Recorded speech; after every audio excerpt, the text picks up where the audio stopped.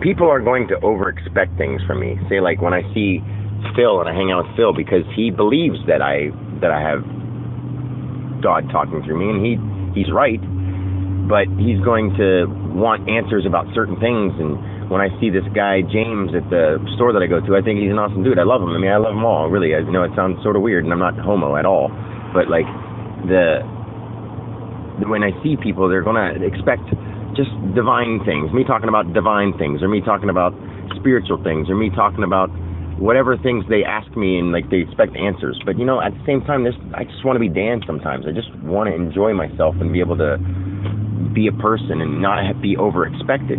But at the same time, I I promise that I will do my best to always, you know, do what's right and be divine. I mean, I know that sounds weird and silly, but I just I want a combination of both. I want to just be able to have a normal life and be a normal person.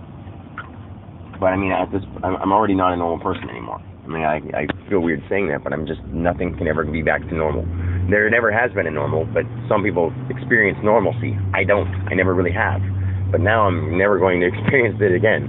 Never get even close to it. Not with what I have going on inside me and with what we all have going on inside us in a universal form, but that I've tapped into. It's so awesome.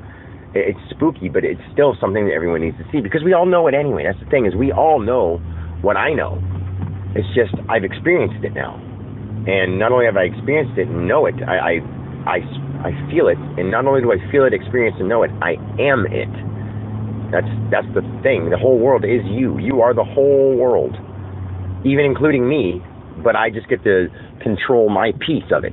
It's still you, and you're not in control of it per se, but the piece of you that's in control of your body is also the piece that's in control of my body. And as hard as, as that is to, you know, comprehend or hard as it is to grasp or to believe, that's really how it is, guys. So